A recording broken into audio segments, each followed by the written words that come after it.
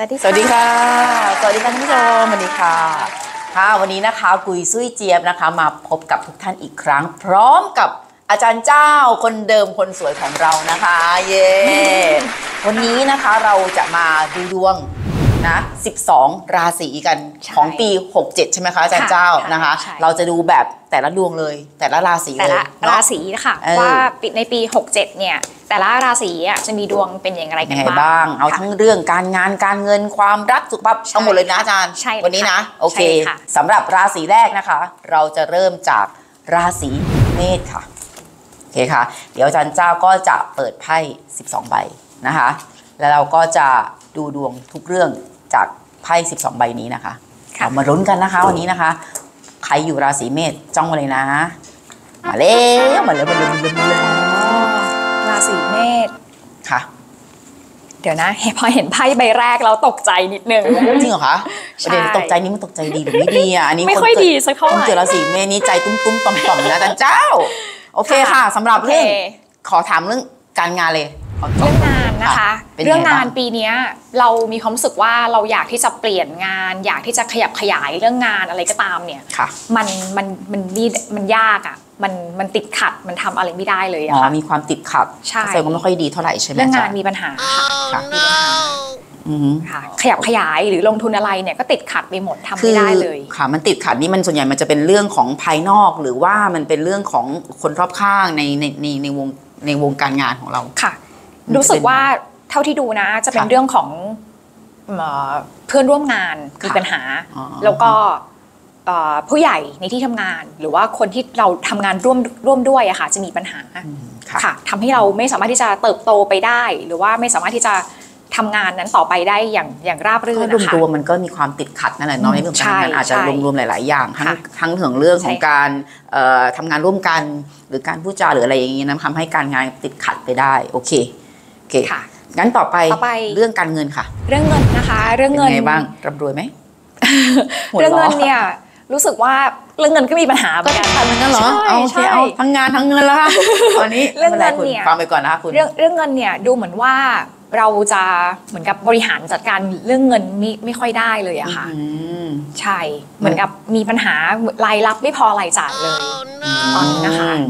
รายรับไม่พอรายจ่ายก็เลยมีปัญหาเรื่องของการเอ่อบริหารงานเออบริหารเงินของตัวเองนะคะค่ะโอใช่เคค่ะคุณรู้แล้วก็ต้องรีบระวังนิดนึงใช่นะคะใช่งั้นเราลองฟังเรื่องความรักมั่งดีกว่าไหมอะราศีเมษไม่ค่อยจะดีเท่าไหร่ละสองเรื่องที่ผ่านมาความรักเป็นยังไงบ้างคะความรักนะคะ คนค่ะรักพูดถึงคนรักของเราเนี่ยของค่ะชาวราศีเมษเนี่ยค่ะเขาก็เป็นคนที่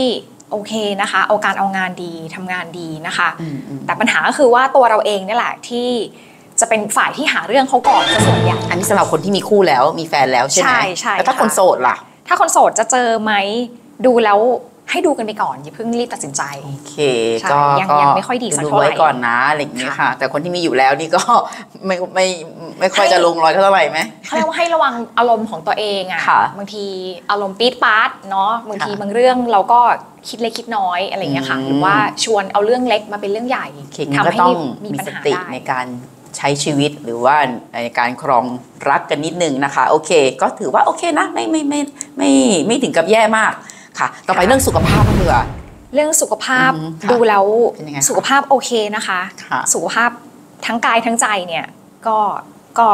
คิดคิดว่าไม่น่ามีปัญหาอะไรใช่ณณตอนนี้นะคะอันนี้ส่วนตัวนะถือว่าเป็นเรื่องที่ดีนะคะ ถึงแม้ว่าที่มันผ่านมาเนี่ยเรื่องงานเรื่องเงิน หรือความรักคุณอาจจะไม่ค่อยเท่าไหร่แต่ว่าพอสุขภาพคุณดีแล้วเนี่ยจริงๆแล้วการมีสุขภาพที่ดีอะค่ะเป็นจุดเริ่มต้นที่ดีนะมันทำให้คุณก็อย่างน้อยก็มีร่างกายที่แข็งแรงสมบูรณ์มีสติมากขึ้นในการที่จะใช้ชีวิต ในเมื่อคุณรู้แล้วว่าอะไรที่มันไม่ดีใช่ไหมคะอ่าเราก็จะได้มีมีพลังนะในการที่จะค่ะมีมีสติในการเอ่อใช้ชีวิตมากขึ้นนะคะ โอเคทีนี้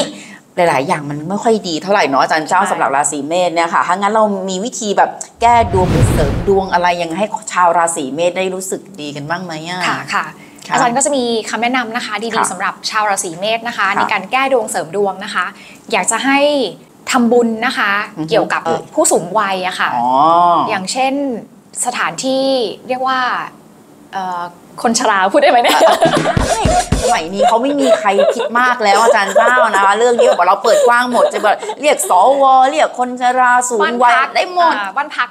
คนชราอะไรอย่างเงี้ยนะคะค่ะหรือว่าทำบุญเกี่ยวกับพระสงฆ์ที่อาพาธอะไรอย่างเงี้ยค่ะอ๋ออัอันนี้จะแนะนำมาก ๆ เลยก็ค่ะคือจะทำให้ดวงเราดีขึ้น ถ้าเราทำใช่บุญค่ะแนวแนวนี้ใช่ไหมคะ ใช่ค่ะโอเคแล้วก็การการไหว้พระก็ให้ไหว้พระ เกจิต่างอืๆตามที่ท่านนับถือ หรือว่าค่ะตามที่จังหวัดท่านท่านๆนั้นมีพระเกจิที่เป็นผู้หลักผู้ใหญ่อะค่ะ เป็นคนอืมอายุอายุเยอะๆเนี่ยค่ะให้ก็ให้จะช่วยใช่ค่ะใช่ค่ะ ให้ไหว้พระแล้วก็ขอพรท่านนะคะโอเคเห็นไหมมันทุกอย่างมันมีทางออกเห็นไหมทุกคนถึงแม้ว่าบางอย่างมันจะไม่ดีก็ตามนะคะ แต่เราก็มีวิธีที่จะเสริมที่จะแก้ได้นะคะ โอเคค่ะสำหรับชาวราศีเมษนะคะ เราก็ได้ฟังไปแล้วนะคะ ทั้งเรื่องการงานการเงินความรักสุขภาพ รวมถึงวิธีการแก้ดวงเสริมดวงให้ท่านไปแล้วนะคะ ก็ต้องขอบคุณอาจารย์เจ้ามากๆเลยนะคะสำหรับชาวราศีเมษนะคะ ขอบคุณมากค่ะค่ะสวัสดีค่ะ Eagle Com Shop ผู้นำระบบอุปกรณ์โทรศัพท์ call center ครบวงจร ตัวแทนจำหน่าย VoIP Gateway แบรนด์ Dingstar หูฟัง call center แบรนด์ VT และ IP Phone แบรนด์ ATCOM สินค้าทุกชิ้นรับประกันจากโรงงานผู้ผลิตโดยตรง คุณภาพมาตรฐาน ราคาประหยัด จัดส่งฟรีทั่วประเทศ รับติดตั้งระบบโทรศัพท์ในสำนักงาน โทรศัพท์ระบบไอพีโทรฟรีระหว่างสาขา โดยทีมงานมืออาชีพ ให้เช่าระบบโทรศัพท์ที่เน้นการโทรออกจำนวนมาก เช่น งานทวงหนี้ งานเทเลเซล งานขายประกัน เริ่มต้นเพียงหลักพันก็มีระบบโทรศัพท์ที่ช่วยประหยัดค่าโทรออกได้มากถึง 70%พร้อมระบบบันทึกเสียงสนทนาทุกคู่สาย จัดการการโทรออกและรับสายได้ง่าย ๆ การันตีโดยผู้ประกอบการทวงหนี้สำนักงานกฎหมาย มากกว่า 200 แห่งทั่วประเทศ มั่นใจในการบริการพร้อมให้คำแนะนำที่จะช่วยให้ธุรกิจของคุณ ประหยัดค่าใช้จ่ายมากที่สุด โทรปรึกษาฟรีที่ 063 269 8988 เราช่วยคุณประหยัดมากกว่าค่าโทรศัพท์